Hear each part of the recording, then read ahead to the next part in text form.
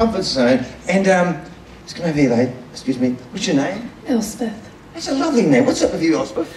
Um, I have degenerate uh, knees. They disintegrate. Oh, I've had wow. four knee operations. Um, I'm 24 and I have the same problem with my hips and my spine. So you've got pain in your. Where's the pain right now? What are you feeling now? Predominantly my. Just can we pray for Elspeth? Can we can we join our faith together, man? She needs a miracle. And She- Elspeth, is that from bones breaking down and weakening? Yeah, it's um, my cartilage um, d- uh, Degenerates. yeah, Yeah. at a quicker rate. Okay. Wow. So basically, I have the joints of like a 60 year old. Oh, pray that off. Just pray for everybody. Just, just relax, Elspeth. She's right now set her free in her body. Just let's move her leg now. How's that go?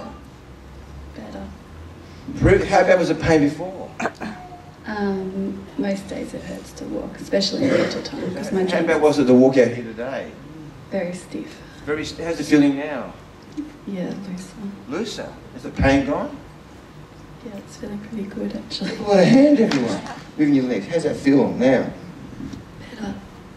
Feeling better now? Yeah. You feel any pain at all? Not much, no. Is it amazing?